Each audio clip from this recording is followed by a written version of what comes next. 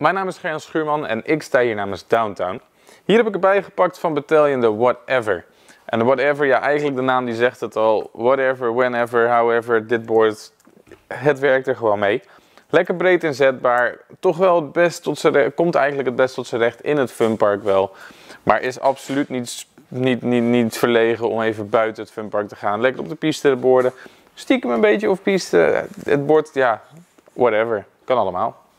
Hij heeft een beetje een softe richting medium flex. Zorgt ervoor dat hij dus speels genoeg is voor in het funpark.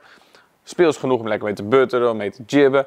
Maar stijf genoeg om dus ook een beetje mee op die piste te gaan lekker boorden. Een beetje van die piste af te gaan boorden. Maakt hem ook zo breed inzetbaar. Mede zijn 99% twin shape.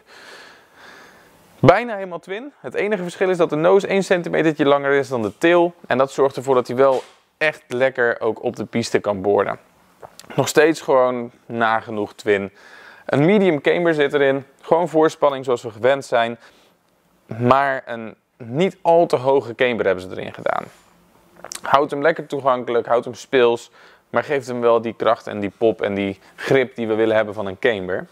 Om je toch een beetje te helpen hebben ze de Twin Pow 3BT erin gestopt. En dat wil eigenlijk zeggen dat de triple base die erin loopt, uh, die is natuurlijk links voor rechts voor hetzelfde, daarom twin.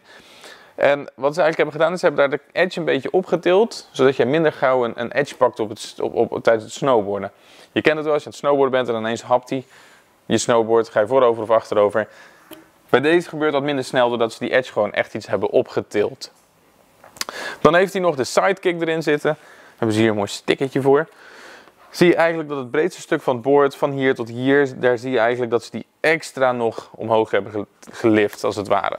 Je gebruikt hem bijna niet, die edge. En ze hebben hem extra opgetild, zodat je nog minder gauw kan happen daar natuurlijk. En het helpt met het inzetten van jouw bochten, zeker van de piste af merk je dat verschil.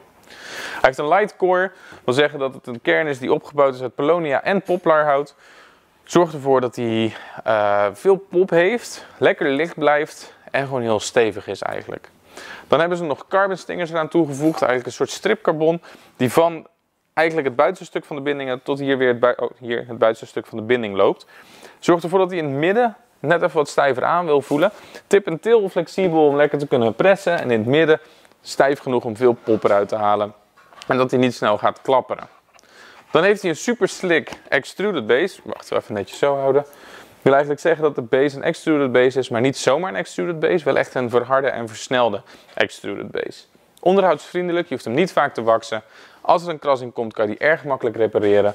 En ja, gewoon onderhoudsvriendelijk en lekker toegankelijk. Eigenlijk zoals het hele boord.